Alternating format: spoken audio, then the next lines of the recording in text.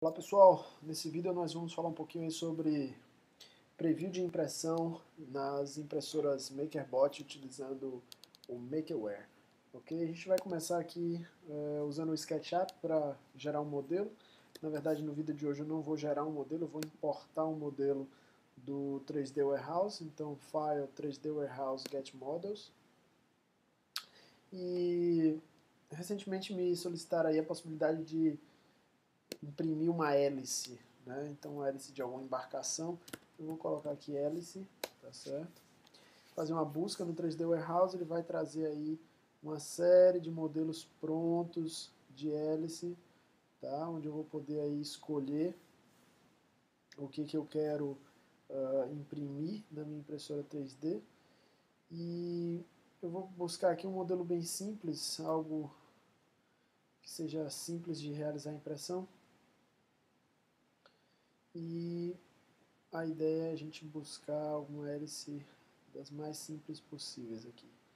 Então a gente tem uma série de modelos aí prontos para a gente. Deixa eu testar aqui, ver se tem diferença entre hélice sem acento e hélice com acento. Você vê que ele já retorna resultados diferentes e eu acho que vai ser essa aqui a nossa hélice. Pronto, modelo bastante simples. Vou clicar aqui em download. Tá certo.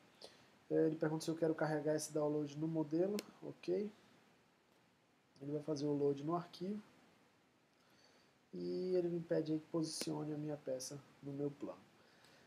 Câmera Standard Top View, tá lá a minha peça, tá certo? Eu já consigo aí efetuar zoom e rotacionar em volta da nossa peça. A peça está selecionada com o objeto inteiriço aí, e eu consigo girar em torno dela, tá certo?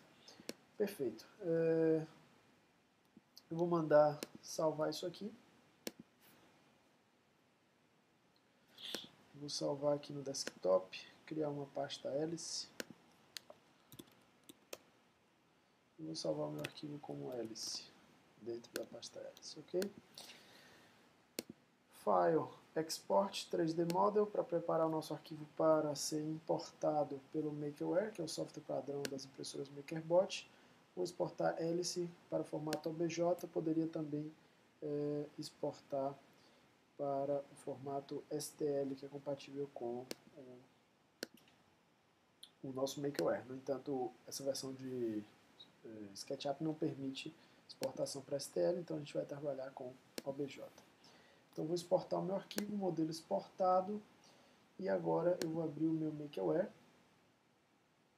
Fechar aqui o nosso SketchUp, abrir o Makerware, File, New. Eu vejo aqui a minha plataforma em branco, vou adicionar o arquivo hélice que nós geramos. Uh, meu arquivo está aqui, hélice.obj, open ele está me perguntando se eu quero fazer o scale, se eu quero redimensionar o meu arquivo para caber na plataforma, eu vou fazer o scale to fit. Isso porque eu fiz uma importação e não, não dimensionei corretamente a hélice a partir do meu programa de modelagem, nesse caso o SketchUp, tá certo? Então a partir de agora eu vou poder rotacionar o meu arquivo, meu objeto, então vou rotacionar o meu modelo. Quando você for fazer impressões é, se a gente posicionasse o modelo dessa forma, tá? Então vamos falar aí um pouquinho sobre o posicionamento. Se a gente posicionasse o modelo dessa forma, perceba que no momento da impressão, a sua impressão ia começar pela base e a hélice, de certa forma, ia ter que ficar flutuando aqui, tá certo? Então a gente deve evitar esse tipo de, de solução. É uma solução um pouco mais complexa de realizar a impressão e, nesse caso, ela demandaria um suporte.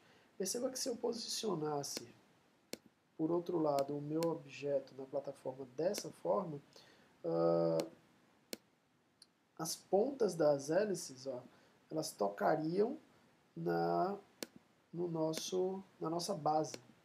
Isso quer dizer que eu não precisaria de nenhum tipo de suporte inicialmente para isso, porque a própria ponta da hélice seria o suporte. Uh, isso deve ser, seria a posição ideal aí a ser adotada nesse momento, tá certo? A partir daí eu posso vir aqui em Make, e a ideia é que eu vou fazer esse teste sem sequer estar conectado com a impressora, tá certo? Eu vou marcar aqui um preview de impressão, vou colocar aqui um preenchimento é, standard, tá certo? Preenchimento standard parte do princípio que vai haver 10% de preenchimento do material nas partes sólidas e eu vou mandar exportar. No momento que eu mando exportar esse meu arquivo, se a opção de preview de impressão estiver marcada, então ele vai fazer, uh, vai surgir aí uma tela bastante interessante para a gente. Então, como o objeto é um objeto um pouquinho complexo, ele demora um pouco aí para fazer a nossa exportação. E está aí o meu objeto. Então ele gerou, ele vai gerar 321 camadas para executar esse modelo. Vai consumir aí em média 47 gramas, esse é um valor aproximado de material, e vai levar aproximadamente 4 horas para executar o modelo na dimensão que eu solicitei. Então a gente já tem aqui informações que são bastante relevantes para a execução do seu modelo. É, o interessante é que eu posso deslizar essa barra aqui de controle e verificar como seria, como aconteceria propriamente dito a nossa impressão. Então eu consigo enxergar ali, por exemplo, como vai se dar toda o interno, aí, o treliçamento interno para gerar os 10%, no entanto com objeto é, sólido, né? E como será feita aí, ó, a deposição de material desde a primeira camada até a execução completa da minha peça tá certo? Uma outra coisa bastante interessante é a disponibilidade da opção de Show Travel Moves. Então, na opção de Show Travel Moves, eu consigo ver aí uh, os movimentos que serão executados pelo cabeçote de impressão, no entanto, sem que haja necessariamente deposição de material. Então, eu vejo por onde o carrinho vai percorrer, quais vão ser esses caminhos que ele vai percorrer de trajetória para executar aí, uh, a sua peça, tá certo? eu vou cancelar e vou fazer um novo teste aqui. Eu vou agora redimensionar essa peça. Eu vou redimensionar essa peça para 30% do tamanho dela. Então ela está com, por exemplo, 150 nessa dimensão. No momento que eu dimensiono para 30%, ele foi para aproximadamente 45 milímetros, tá certo? Lembrando que isso aqui é um, dimensionamento mantendo uma escala uniforme. E agora vejo que minha peça reduziu bastante em relação ao tamanho total da plataforma e aí, mais uma vez, a gente vai fazer um make, manter o standard, 10% de preenchimento, fazer o preview da impressão. Veja que agora já gerou um modelo de simulação muito mais rápido. Ao invés de 321 camadas, 47 gramas e 4 horas para fazer a impressão, eu já estou com um modelo de 96 camadas, 2 gramas de material e 20 minutos de impressão. Agora um modelo muito menor em escala com relação àquele modelo anterior, tá certo? Então, obviamente, aí quanto mais é, complexo ou maior for o seu modelo, mais tempo será gasto para fazer impressão. Bem como quanto mais você é, fizer camadas de deposição de material, maior vai ser o uso de, do tempo e o consumo de material. A gente está fazendo uma simulação com 10% de preenchimento de enfio. Vamos aumentar isso aqui para 80% de preenchimento de enfio. Então, no momento que eu faço a exportação, provavelmente o número de camadas vai se manter, porque o modelo em si é o mesmo, então as mesmas 96 camadas. Uh, no entanto, eu estou agora aqui com 3 gramas de material, tá certo? Então eu vou sair aí, vou, posso chegar a 100% de enfio. Onde agora eu tenho os meus mesmos 20 minutos, mais 4 gramas de material. Então a gente percebe aí que existe um aumento da, do consumo de material, porque agora essa peça aqui não vai ser mais treliçada, ela vai ser 100% preenchida. Tá? Isso fica mais claro ainda se a gente for agora aqui uh, e, por exemplo, fizer uma rotação. Vou demonstrar uma coisa diferente agora aqui para vocês. Então vamos voltar naquele exemplo onde a gente estava com a peça rotacionada, tá certo?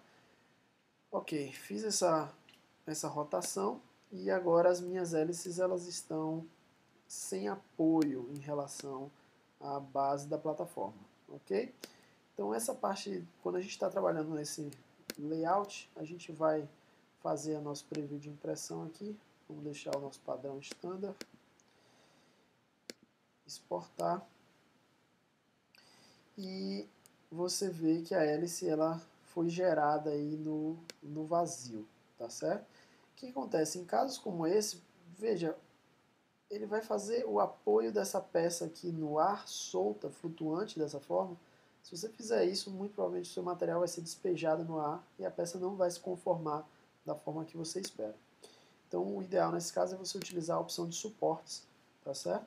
onde no momento que você faz o preview de impressão agora, você vai perceber que desde as primeiras camadas já vai ser gerado um suporte para que lá adiante, no momento da lá adiante, no momento de efetivamente iniciar a hélice, ele possa apoiar as hélices sobre esse suporte. Obviamente esse suporte ao final vai ser uma rebarba que vai precisar ser retrabalhado.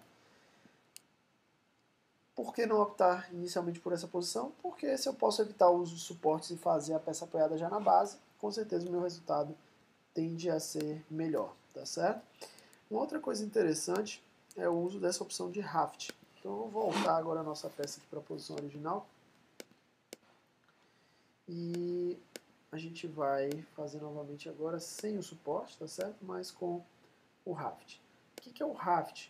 O raft ele sinaliza aqui para a gente ó, como sendo a opção de você construir, né, você incluir aí uma pequena camada de material na base da peça que vai ser impressa. Então perceba que quando eu mando importar, exportar com o Raft, a opção de Raft selecionada, ele vai gerar agora para mim uma camada de material abaixo do meu modelo, tá vendo? Então a minha peça agora, a minha hélice, ela não vai tocar direto na base, mas sim nessa camada de material. Essa camada de material ela é bastante interessante uh, para que a sua peça muitas vezes não se solte da plataforma. Então é bem comum a gente usar isso daí e fazer essa pré-impressão de material, depois você vai e retira e retrabalha essa rebarba, tá certo? Então ficam aí algumas dicas de, de impressão e de preview de impressão que podem ser bastante úteis aí na hora de eh, avaliar como será impresso o seu modelo antes mesmo de jogar isso para o impressor. Isso é bastante interessante, inclusive, para prever alguns erros de impressão em arquivos. Tá certo? Até mais e fiquem com Deus.